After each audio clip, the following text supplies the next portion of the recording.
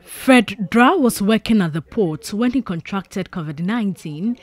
The experience, according to him, was scary. My son drove me to the roadside. An ambulance came. My wife was there. My daughter was there. My son. Then the whole start, family started crying because of the news out there. So me myself, uh, I became worried. But all the same, I gathered the courage, packed down my small things, and I left. The only thing that we do over there is that they call you on phone. They don't get closer to you. They just call you, Fred. Are you okay? I say I'm okay. Then they'll just push your food to a, a door.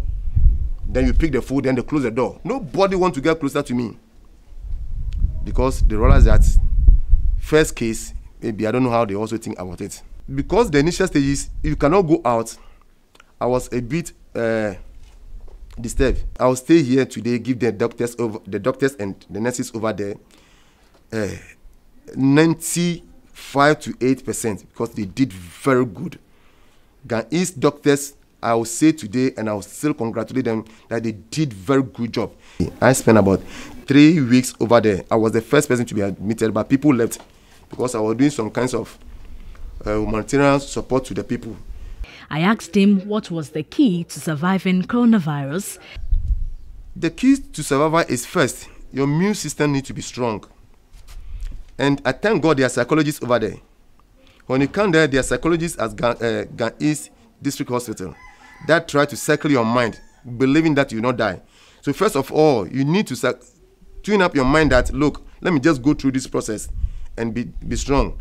So your immune system need to be strong. In my case, there's nothing like oxygen. Just about four or five days or six days later, then they started giving us some medications, chloroquine and antibiotic, um, vit vitamin C. His family say they will continue to encourage him. In fact, they've been strongly backing me. They went through some small stigma. Through currently, they're also going through that, but they are proud of that. They are ready to introduce to the whole world that look, their dad went when I was going. They were crying, but their, their dad went and their dad is back. Yesterday, before I came to the house, ah, they are all in white, white, waiting for their dad. Fred had an advice for Ghanaians. So the stigma really is there. That's where I want to let all Ghanaians to know.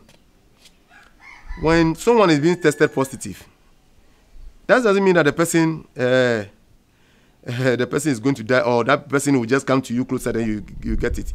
You can get it through any means, any means you can get it. We are all at risk. We are all at risk. But the whole thing, that let's just, just be careful.